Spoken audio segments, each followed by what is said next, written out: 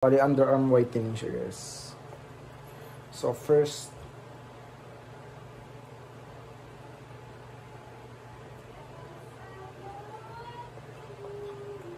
So, first, ito yung ano, guys.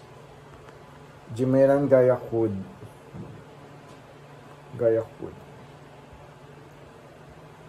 Para sa ano to? Acne. Okay. Second one is itong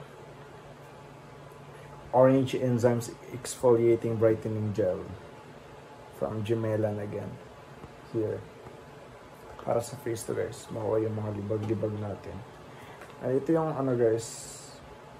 Yung set ng Sakura ay underarm whitening. So first, this one is the Sakura Gluta Deodorant Spray.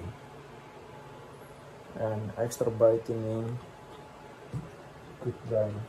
And the last one here is this Aura Brightening Underarm Cream. Yeah, from Gemelan. So ito yung ano guys, send sa akin. Meron din silang freebies na ano. Um, Invisible Acne Patch.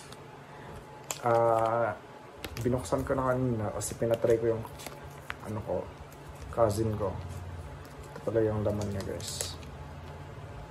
Nakita ko to sa TikTok, effective daw to. And let's see, i-video ko na siya later.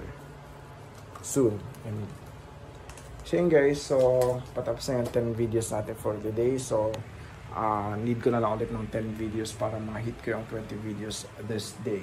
So, yun guys. So, I hope uh, you like this video. So, even if it's so boring. So, thank you guys.